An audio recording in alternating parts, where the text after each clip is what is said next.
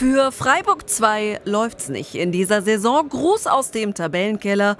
Und jetzt kommt auch noch Zweitliga-Absteiger Sandhausen. Und der lauert auf Fehler der Freiburger, wie auf den hier.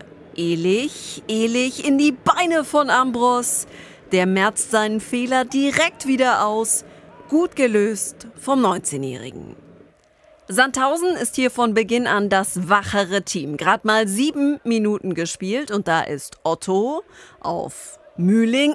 Alexander Mühling setzt den Ball knapp neben das Tor. Aber wie leicht tanzen sich die Sandhäuser hier bitte durch den Freiburger Strafraum. Und apropos leicht, das ist auch das Stichwort für diese Szene. Mühling auf Evina. Und da ist schon wieder Otto. Otto Sauter ist zur Stelle. Niklas Sauter, der Keeper, der erst am vergangenen Wochenende zurückgekehrt ist ins Freiburger Tor. Ganz stark und mit richtig viel Präsenz. Sandhausen mit dem Pass in die Schnittstelle. Ehrlich legt den Ball nochmal raus. Und in der Mitte wäre Hennings. Ruven Hennings! 1 zu 0. Die Führung für den SV Sandhausen. Und die Frage, wie frei kann ein Stürmer eigentlich stehen? Rufen Hennings, ja. Ein Thema bei Freiburg 2 also die Ballsicherung. Die fehlt komplett Sandhausen mit dem schnellen Umschaltspiel und dem Ball auf David Otto. Sauter, der hat die Ecke und sorgt dafür, dass die Sandhäuser hier nicht nach einer halben Stunde schon mit 2 zu 0 führen. Freiburg vielleicht mal nach einem ruhenden Ball. Und das ist einer für Rüdlin. Renen lenkt den Ball zur Seite ab und da steht kein Freiburger. Und dann ist Halbzeit. Und da schmeckt den Freiburger Fans die Wurst besser als das Ergebnis.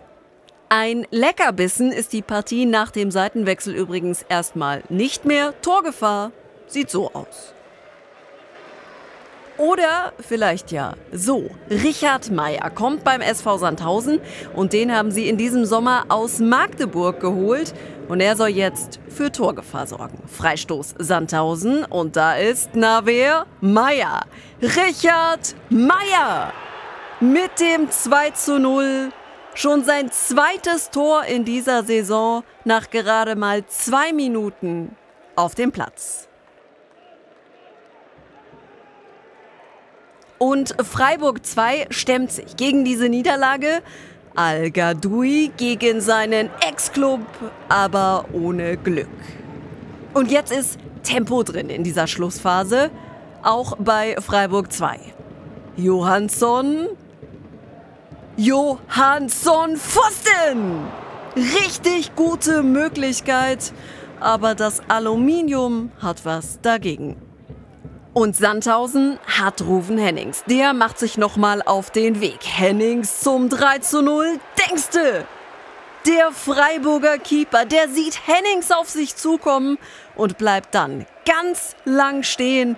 Stark gemacht von Sauter. Der behält die Nerven anders als Teamkollege Mika Bauer. Der ist schon ausgewechselt, hat aber die Werbebande weggekickt und sieht dafür die zweite gelbe.